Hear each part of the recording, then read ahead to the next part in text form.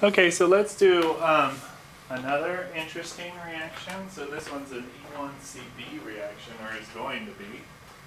So our substrate here, you can see this is a tertiary alkyl halide, and we've got a strong base. So normally we would think, okay, tertiary, that's going to go through SN1, but we've got a strong base here, so that would we would think, oh, SN2, but tertiaries can't go through SN2s, okay? So what's going to happen here, in fact, is neither one of those is going to be an E1CB. So, and like we said, the CB stands for conjugate base, okay? So the reason being is because the conjugate base itself is going to be the thing that's doing the most of the reactivity.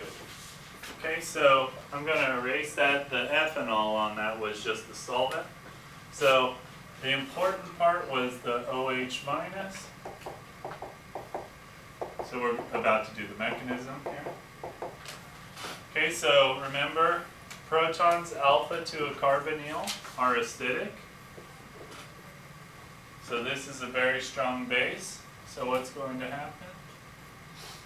So we're going to deprotonate that proton there. Okay?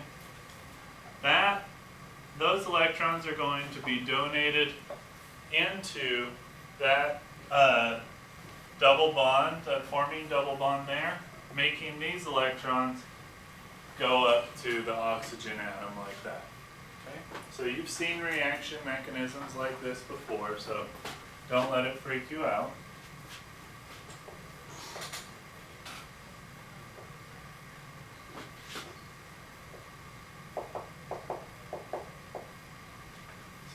We've got that. We've got that.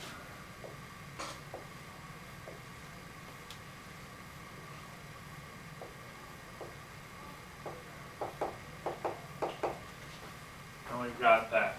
Okay, so hopefully everybody got that as their organic product. If you didn't, um, make sure you are able to before Thursday.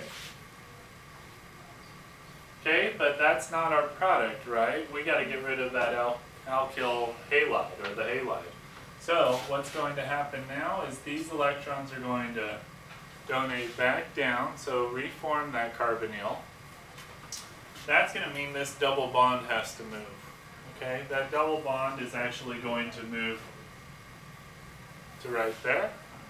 Once that happens, of course, this bromine is a very good leaving group, so what do you think it's going to do? Yep, pop off or leave. So a good leaving group's going to leave. And that's going to be the end to it all.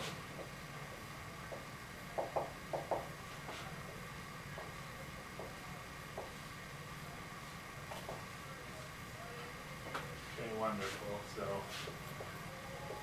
you want to. So this one's called an E1CB reaction. Okay, are there any questions about this one?